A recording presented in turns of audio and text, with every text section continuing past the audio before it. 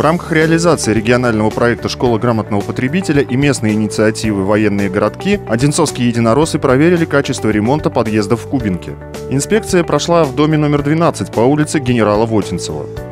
В рамках ремонта в пятиэтажном доме 1981 года постройки будут приведены в порядок входная группа и напольное покрытие в подъезде. Покрашены стены, потолок и мусоропровод. Заменены почтовые ящики и проведены другие виды работ. Как отметили партийцы, все работы выполняются качественно и по графику.